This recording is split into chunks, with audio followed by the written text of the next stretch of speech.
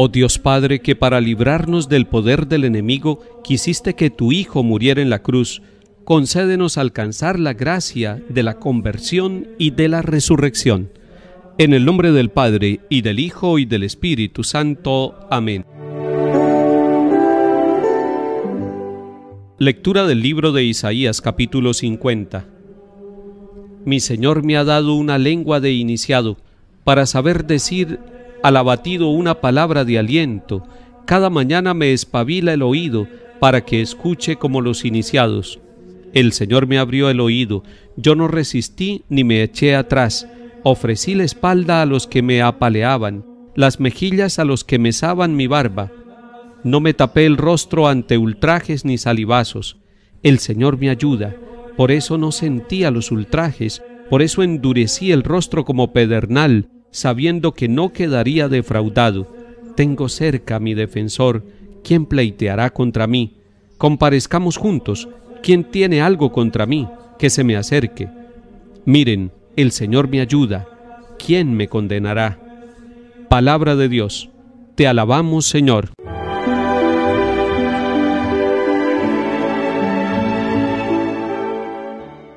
Hoy miércoles santo leemos el tercer cántico del siervo de Yahvé, es decir, ese cántico que se encuentra en el capítulo 50 del profeta Isaías. Dijimos que el lunes tomamos el cántico que está en el capítulo 42, que ayer martes tomamos el cántico que se encuentra en el capítulo 49. Hoy estamos en el tercero de esos cánticos.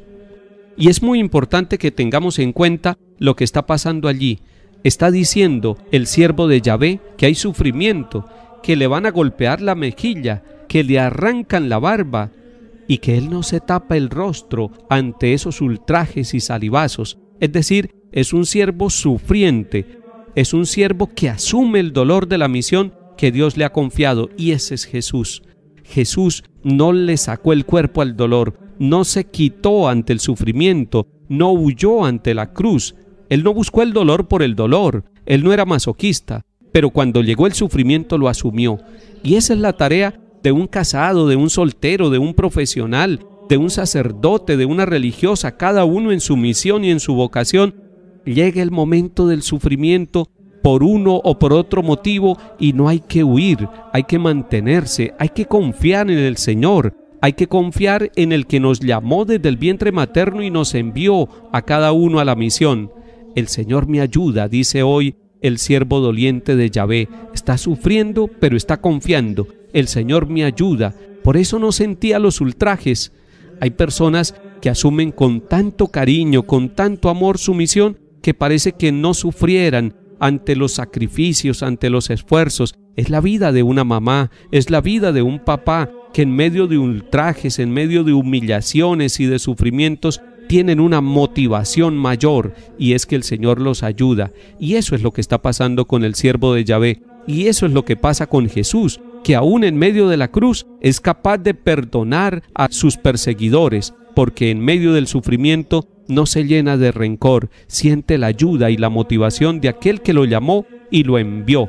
Por eso dice, sabiendo que no quedaría defraudado, yo endurecía mi cara como el pedernal porque tengo siempre cerca a mi defensor. Queridos hermanos, ustedes también hoy miércoles santo piensen en medio de sus luchas, en medio de tantas dificultades que ustedes tienen cerca al defensor. Recuerda que hace unos días cuando estábamos leyendo el profeta Daniel, a los tres jóvenes que los metieron en el horno, les pasó algo y es que un cuarto personaje vino a acompañarlos. Es porque el Señor está cerca. Es lo que dice el Salmo 22 también. El Señor es mi pastor, nada me falta, aunque camine por cañadas oscuras, nada temo porque tú vas conmigo. Y aquí el profeta está diciendo, tengo cerca mi defensor. Usted también hoy piense todo el día, aún en los momentos de más dificultad, que el defensor es Dios con su amor, con su poder, con su ternura y su misericordia, y lo está defendiendo a usted y a su familia. Salmo 68. Por ti he aguantado afrentas, la vergüenza cubrió mi rostro, soy un extraño para mis hermanos, un extranjero para los hijos de mi madre, porque me devora el celo de tu templo, y las afrentas con que te afrentan caen sobre mí. La afrenta me destroza el corazón y desfallezco. Espero compasión y no la hay, consoladores y no los encuentro. En mi comida me echaron hiel, para mi sed me dieron vinagre. Alabaré el nombre de Dios con cantos, proclamaré su grandeza con acción de gracias. Mírenlo los humildes y alégrense, busquen al Señor y revivirá su corazón, que el Señor escucha a sus pobres, no desprecia a sus cautivos.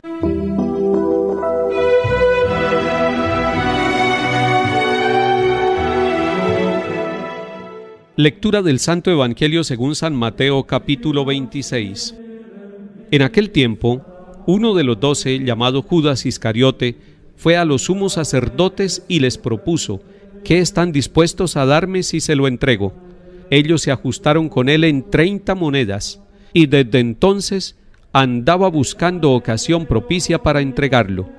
El primer día de los ácimos se acercaron los discípulos a Jesús y le preguntaron, ¿dónde quieres que te preparemos la cena de Pascua?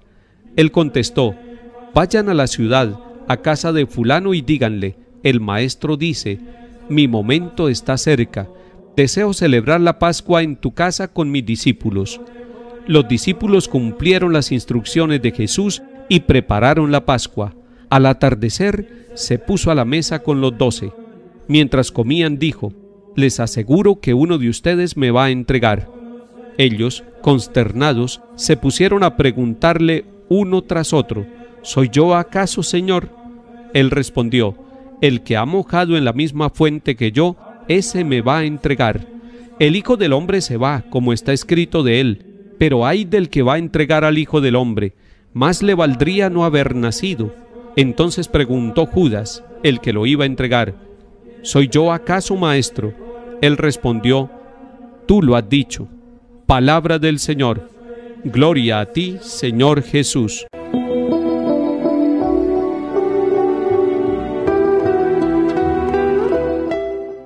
En este miércoles santo la palabra de Dios en el Evangelio capítulo 26 de Mateo nos propone la figura de Judas.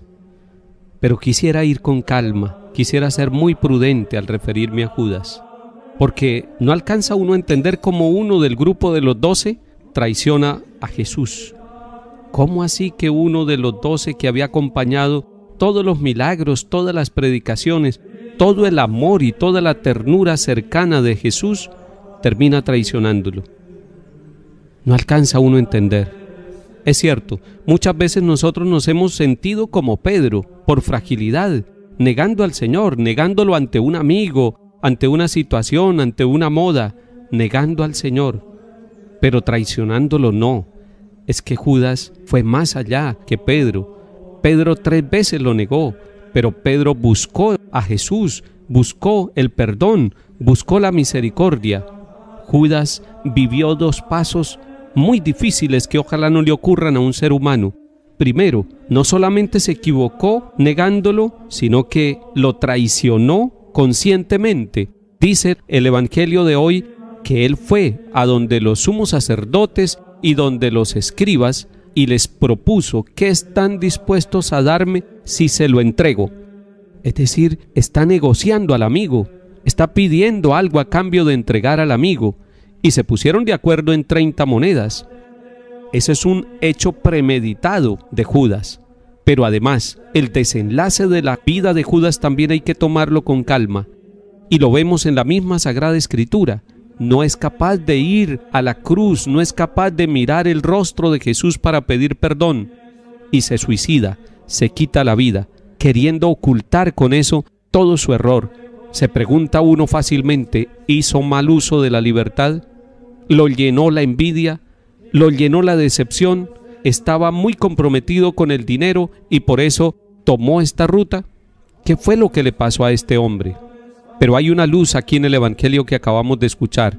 Cuando Jesús anuncia con dolor y con sinceridad que uno de los doce lo va a traicionar, todos se preguntan, ¿soy yo acaso Señor?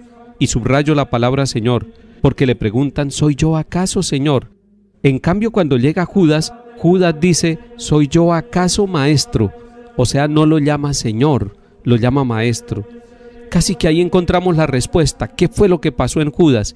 Que Cristo no era el Señor de su corazón todavía. Que a pesar de que lo había acompañado tanto tiempo, lo llamaba maestro, no era capaz de reconocerlo como su Señor.